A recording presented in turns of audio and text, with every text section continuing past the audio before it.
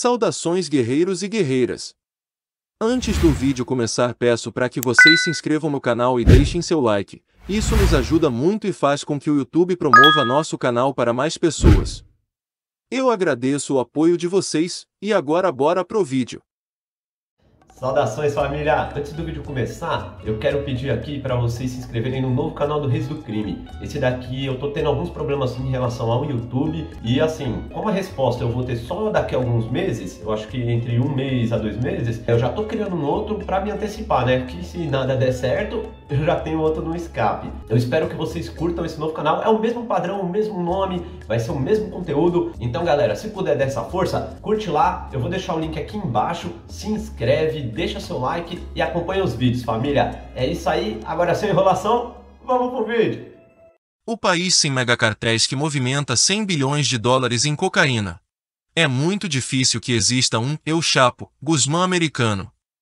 Não porque milhões de dólares não sejam movimentados e não haja traficantes de drogas naquele país, o maior usuário de cocaína do mundo, mas pela maneira como o tráfico de drogas é organizado nos Estados Unidos. Não parece haver ali ninguém como o mexicano que ficou conhecido como um dos maiores narcotraficantes do mundo na história recente. Essa é a avaliação de especialistas, e até a DEA, Drug Enforcement Administration, o órgão americano de controle de narcóticos, reconhece a presença de máfias locais. Desde meados do século passado, sabe-se de chefões do tráfico nacionais nos Estados Unidos, mas a probabilidade de um deles simultaneamente produzir, mover, distribuir e comercializar substâncias ilícitas é muito baixa.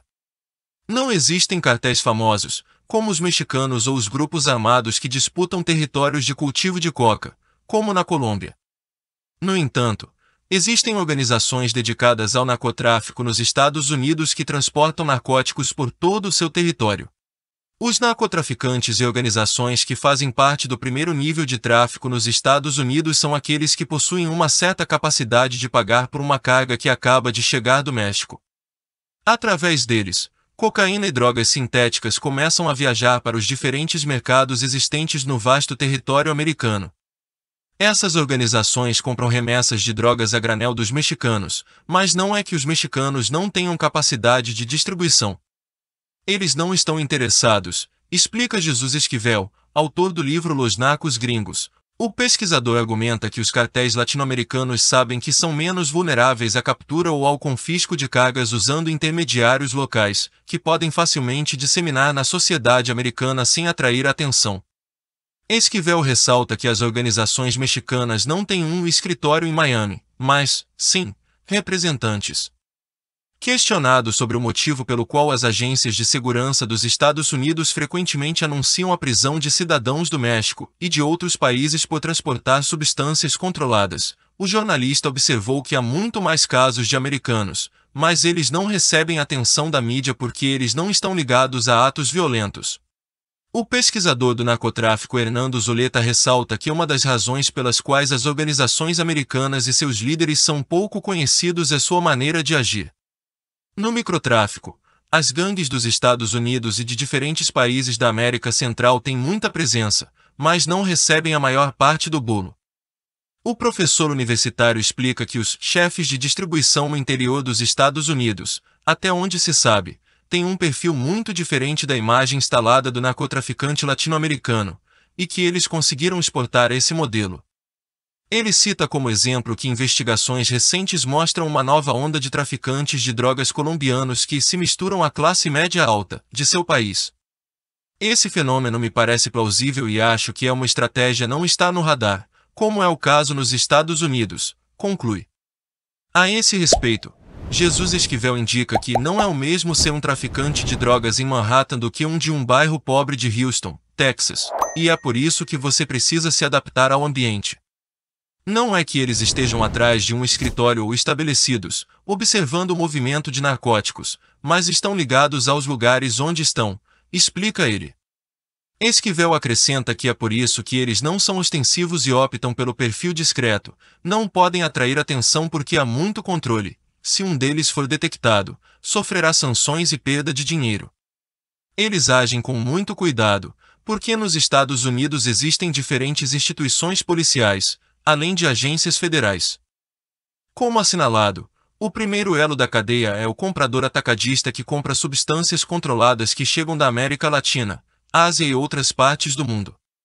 A partir daí, uma rede de grupos e prestadores de serviços continua, estendendo-se aos mercados nos mais de 9 milhões de quilômetros quadrados que os Estados Unidos possuem. As estimativas mais conservadoras sustentam que a cocaína por si só movimenta mais de 100 bilhões de dólares naquele país. Outras substâncias consumidas no país são maconha, legal sob diferentes modalidades em alguns estados, metanfetaminas, heroína e fentanil, opioide para dor, cujos níveis de mortalidade alarmaram os Estados Unidos. Jesus Esquivel ressalta que, entre os compradores em massa, existem clubes de motoqueiros que têm ramificações em muitas cidades e, portanto, são difíceis de detectar. Um cartel move toneladas de cocaína, mas ao entrar nos Estados Unidos, milhares de americanos são responsáveis pela distribuição dessas toneladas em partes cada vez menores. É como uma teia de aranha, é por isso que é tão complicado, diz ele. O pesquisador dá como exemplo dessa dificuldade a transferência das substâncias químicas que chegam da China para os Estados Unidos. A droga passa por diferentes estágios até chegar ao mercado que a demanda. A distância para a demanda por drogas não existe, conclui. Por seu lado, o professor Zuleta ressalta que é nesse ponto que as gangues entram em ação. Existem hierarquias específicas e elas não são homogêneas, é claro, mas obviamente elas têm capacidade econômica, capacidade de corrupção e suborno, diz ele. O pesquisador acrescenta que, a partir daí, são contratados distribuidores de varejo, transportadores para atingir consumidores, que nos Estados Unidos são mais de 4 milhões. O DEA, em seu relatório anual de 2019, Avaliação Nacional de Ameaças às Drogas, reconhece a existência de grupos, criminosos e gangues locais, vinculados ao negócio de drogas. Eles colaboram diretamente com grupos criminosos e gangues locais nos Estados Unidos para distribuir e transportar drogas no varejo, observa o relatório. Portanto, Especialistas apontam que a entidade dá muito mais destaque aos membros mexicanos das organizações criminosas transnacionais presentes em seu país e minimiza suas máfias locais. Por exemplo, a agência anunciou em abril deste ano que detectou um túnel sofisticado que partia da fronteira mexicana e chegava à área de San Diego, no sudeste dos Estados Unidos. Sua peculiaridade é que foi a primeira vez que a carga apreendida incluiu vários tipos diferentes de drogas, cocaína, heroína, maconha e fentanil no valor total de 29 milhões de dólares. Outra descoberta recentemente anunciada pela Agência dos Estados Unidos é que ela teria identificado oito grandes centros de transporte de metanfetamina, a maioria deles no sul dos Estados Unidos. A peculiaridade é que, em ambos os casos, o DE atribuiu praticamente toda a responsabilidade aos grupos de drogas mexicanos, apontando que eles operam em várias células às quais são atribuídas funções específicas, como a distribuição ou transporte de drogas, consolidação de sua entrada ou lavagem de dinheiro. As operações mexicanas nos Estados Unidos geralmente funcionam como uma cadeia de suprimentos. Os operadores da cadeia conhecem seu papel específico, mas desconhecem outros aspectos de uma operação, afirma a agência.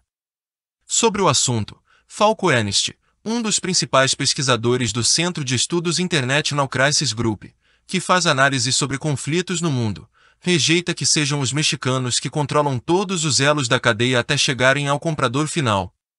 Assim como Zuleta Esquivel, o especialista destaca o papel de gangues, máfias locais e clubes de motoqueiros dentro do sistema de distribuição.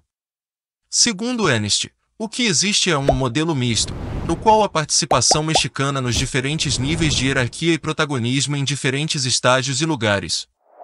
Ele explica que a presença de representantes de organizações criminosas mexicanas nos Estados Unidos não se limita apenas ao envio de representantes, mas que nada se sabe sobre nenhum dos verdadeiros capos que operam daquele lado da fronteira.